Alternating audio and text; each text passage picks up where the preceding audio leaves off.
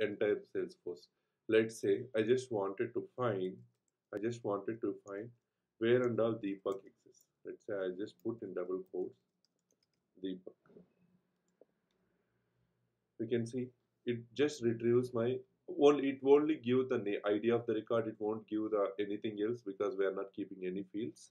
So you can see I just kept to find and then within the curly braces I just put the I mean gave the keyword what I wanted to search. I have Deepak. In dealer we have one record. Contact I have two records. Lead one record. Apex classes. Even in Apex classes there is a Deepak. This is something interesting, isn't it? Hello. Yes, Deepak. Yeah. User, we have one Deepak. Even in Apex class, we have one Deepak. Let's say I wanted to search for other thing. I'll put R condition. I'll say Nikhil. Data got updated. In Apex classes, we have two. In users, we have two users because I think that Nikhil is also a sales user here. Nikhil and Sunil, we have users, right? Dealer and Apex classes. So you can see, I, I, I never ask like from which objects I need information. By itself, I mean the query itself, the find itself, which is giving data. The one we are trying to do here is called Salesforce object, Salesforce search language, Salesforce object search language. This is not a query, this is called search language. So if I want to retrieve fields from a particular column, then I can say in and I can mention by name field. I'll say I'll say name fields returning fields. You need to say returning. You need to say returning. Whatever caps I am writing, these are the standard things. These should be in the same format. Fields returning, and you have to mention your object name. I'll say let mention myself as a coding skills underscore content underscore underscore c and you need to mention the what are the fields you need name comma i'll just mention name now id comma name now you'll get only that data. You see? You got only that object data. If i wanted to know my even my contact i'll say contact name comma phone. You got two records now right? If you need but if you are looking for a particular object then you can mention by keeping fields returning. There is a keyword called fields returning and then you can put your object name. Whatever the fields you needed from that object you can get it. And here you can see i can also add where condition. Where name like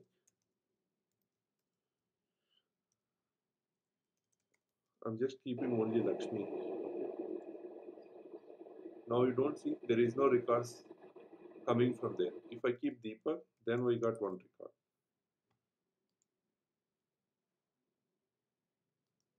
Deepak, yeah the keyword in you used, right?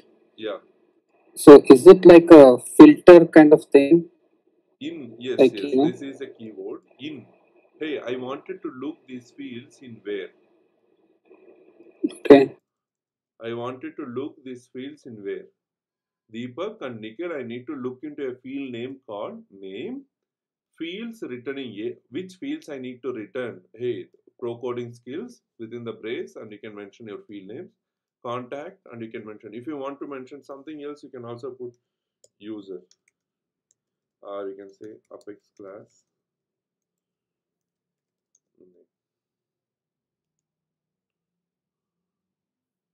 There is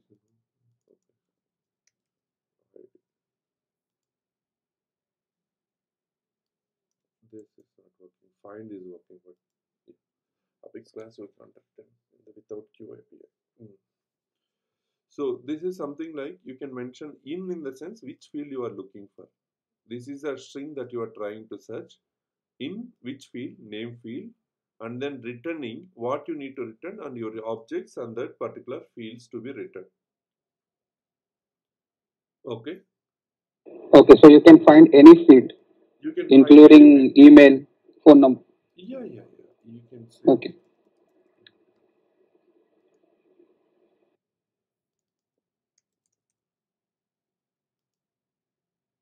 You can see. In pro coding skills we have that. Let's say email underscore underscore c you can see. In email I am finding now. In email. And this is you understand right here you need to pass the data types clear any doubt on this SOSL? No, Deepak. SOSL is a such language that you need to use. Okay, Deepak, I can't see a screen. now you can't. Okay. So SOSL is for a search language, so you can do a search, but you can't do much more with SOSL.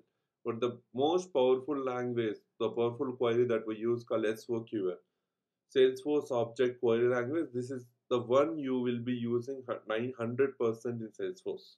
Okay, you, whatever class you write, whatever trigger you write, whatever queries you do, you do everything is SOQL. Clear? See, while writing SOQL, you should remember, we should remember few things.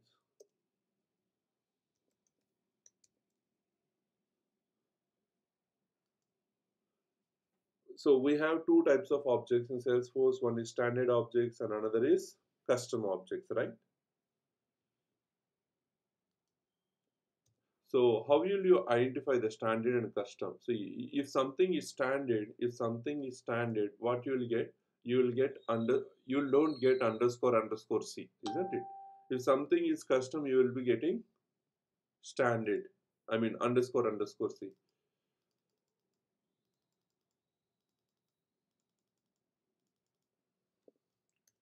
We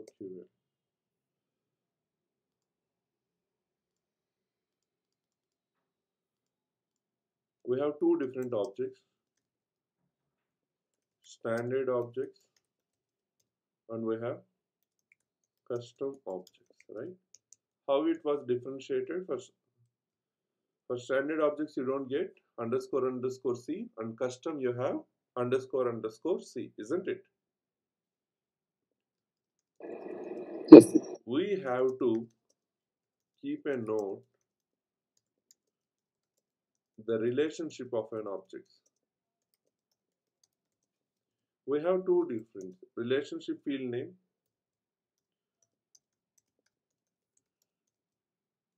Relationship field name. Relationship field name. And we have child relationship name we have child relationship name. Again when i say relationship field name what is the relationship field name? What is the relation example?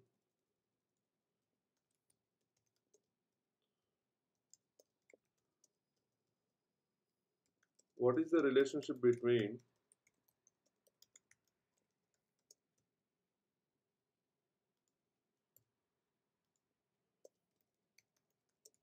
account and contact?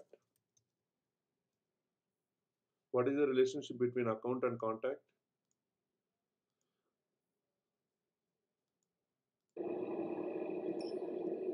Here i need to get relationship name. I need to get to know relationship name okay relationship field child relationship child relationship.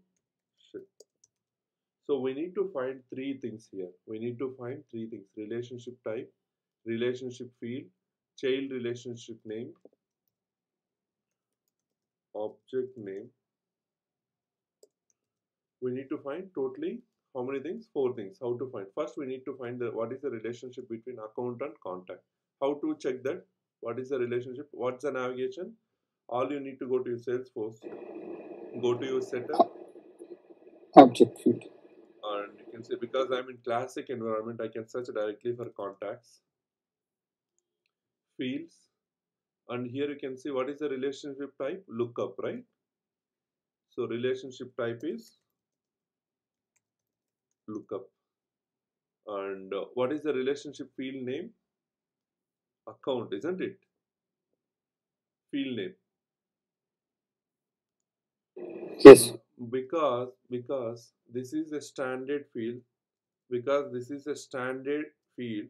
Whenever you see field name, whenever you see field name, whenever you see field name, try to concatenate with ID always. If something is a standard relationship, and if you find the field name of relationship, and always try to concatenate with ID. Okay, always concatenate with ID. Clear? You need to add ID at last if it is a standard fields. Is this clear? And now I need to find the child how to find a child relationship name. I need to go to my account name. I need to open that relationship field and you can see there is a child relationship name field. There is a child relationship field name.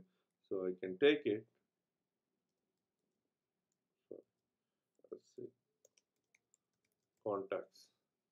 What is the object name that we are trying to query now? What is the object name? Because this is a standard object, we can say it is contact. You understood how to get a look. First, we need to know the what is the relationship field name and relationship field name. Once you get the relationship field name, and if it is a standard relationship, then you need to add ID at last of the field name. Clear? Always you need to add ID. Okay. And how to get a child relationship name? Whatever the field you are looking, and try to open that field and you will find a column called child relationship name which is used. These are the four things that you can able to get it from if the relationships are standard. What if it is a custom relationship created by a user? Let's say custom relationship.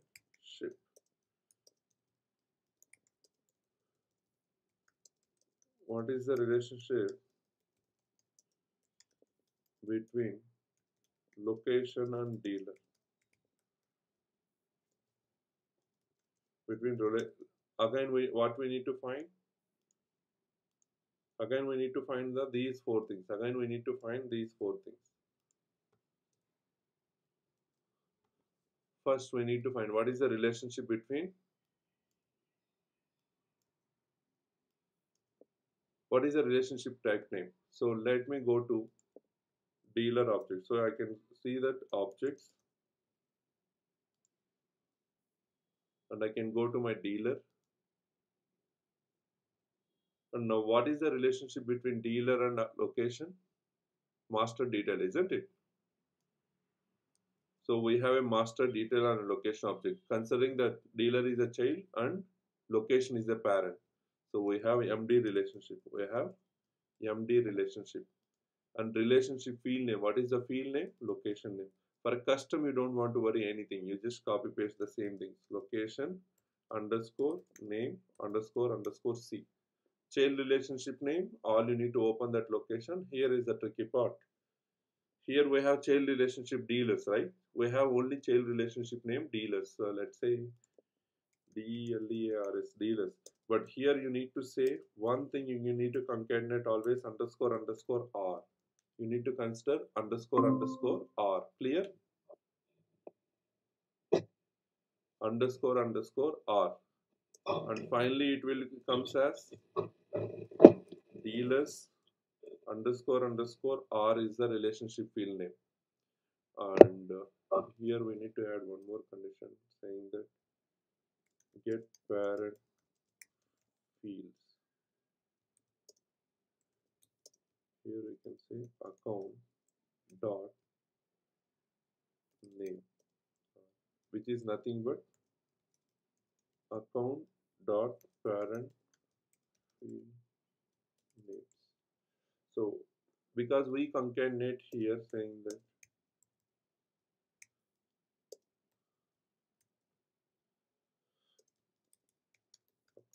This is how we converted. Here we added at a relationship field level. Here we added at child relationship level. And we also had one more condition called get parent fields. How to get parent fields?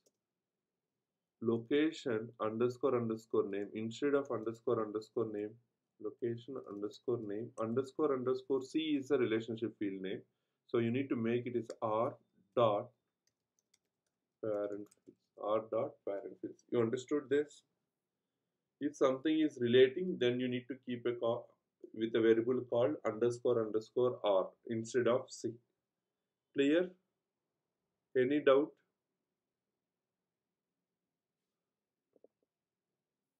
Any doubt on this? Deepak, can you hear me? yes